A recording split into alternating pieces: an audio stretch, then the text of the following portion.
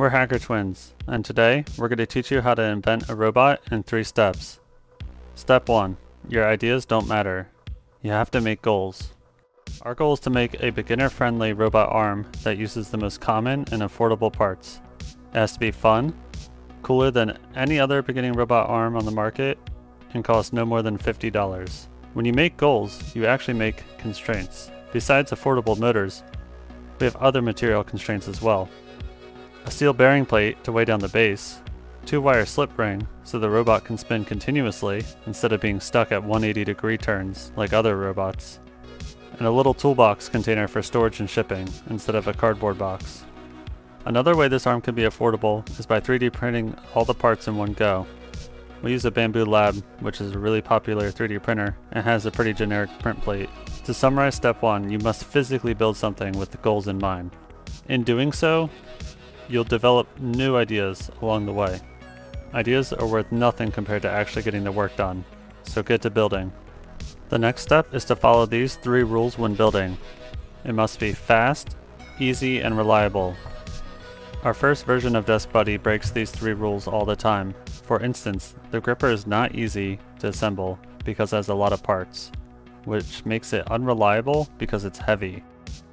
The new gripper is fast and easy to assemble, and we removed the black TPU because it was heavy and unnecessary.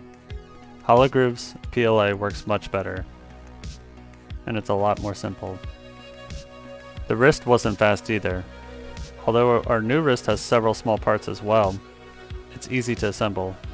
Ultimately, if you break more than two of these three rules, it's a red flag, and you should full stop. This wrist broke all three rules. The planetary gear system was a fun idea, but it is unreliable and it's just too wobbly. Here's the old base. It's fast and easy, but it's not reliable. We had to make a group to let the outer gear fit the planetary gear system. And although this is easy, we're breaking the reliability rule. These are more like guidelines to keep you on track while building. There are times where you're going to break a rule and keep moving forward, but just consider the consequences of doing so. Our new idea to put the gear on top fixed a reliability issue, but the teeth were too small, and it was really hard to line up. So we just made them bigger, and now it's easy. Step 3. The secret to iterative design. Iterative design is a cycle of prototyping, analyzing, testing, and basically the evolution process of developing something.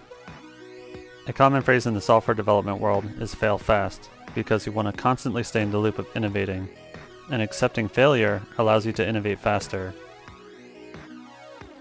So the secret to iterative design, it's impossible to fail if you never give up.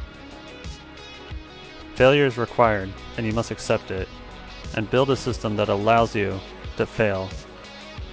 For example, I love to build robots and then immediately test them until failure. Even though I'm breaking them, I find it fun and it shows opportunities where I can learn and where I can make a better robot.